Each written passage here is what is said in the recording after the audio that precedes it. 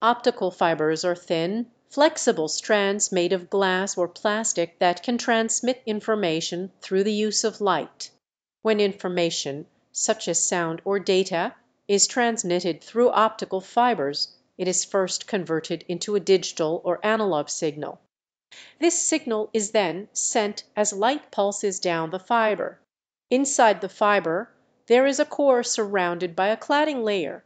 The core is where the light travels, while the cladding layer reflects the light back into the core, allowing it to propagate along the fibre without much loss. As the light pulses travel down the fibre they experience a phenomenon called total internal reflection. This means that the light constantly reflects off the walls of the fibre, bouncing back and forth.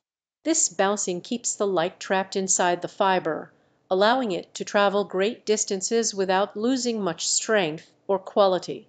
The information can then be received at the other end of the fibre by converting the light signals back into the original form, such as sound or data.